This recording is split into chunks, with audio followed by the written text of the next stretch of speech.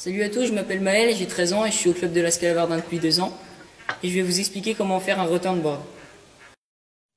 Pour ce tuto, nous avons besoin des plaques, de la colle, des tasseaux, une planche de bois, un pupitre, un tournevis et une perceuse, des vis et des boulons, une clé pour les boulons.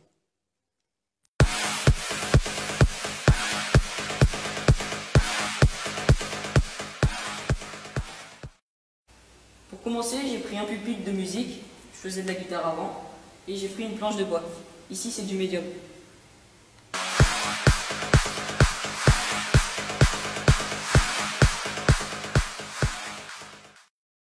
J'ai fixé la planche au pupitre en disposant des vis et des tasseaux derrière le pupitre pour ne pas que les vis passent à travers des trous.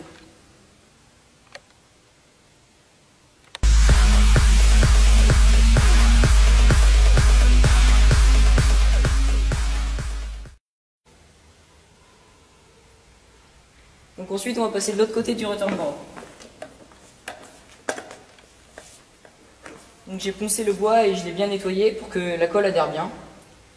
Donc j'ai euh, mis une couche de colle sur le revêtement et une couche de colle sur le bois.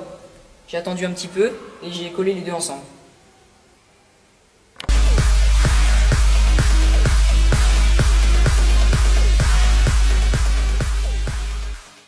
Petite astuce, grâce au pupitre, nous pouvons gérer l'inclinaison en dévissant ici.